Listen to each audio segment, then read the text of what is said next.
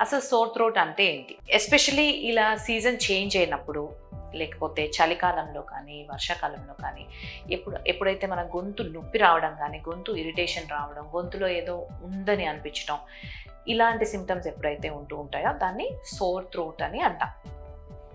అసలు ఇది రాకుండా ఉండడానికి ఏం చేయాలి? ఏం జాగ్రత్తలు తీసుకోవాలో ఇప్పుడు చూద్దాం.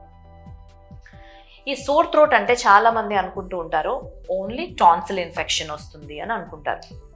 కానీ థ్రోట్ అంటే ఈ ఏరియా మొత్తాన్ని థ్రోట్ అని అంటాం. ఈ టాన్సిల్స్ ఇది కొండనాలిక ఈ వెనకాల ఉన్న స్పేస్ ఇదంతా కలిపి ఇది కంప్లీట్గా థ్రోట్ సో ఇది ఓన్లీ ఈ ఇక్కడ ఇన్ఫెక్షన్ రావచ్చు ఇక్కడ ఇన్ఫెక్షన్ రావచ్చు ఎక్కడ ఇన్ఫెక్షన్ వచ్చినా కూడా దాన్ని సోర్ థ్రోట్ అని అంటూ ఉంటాం.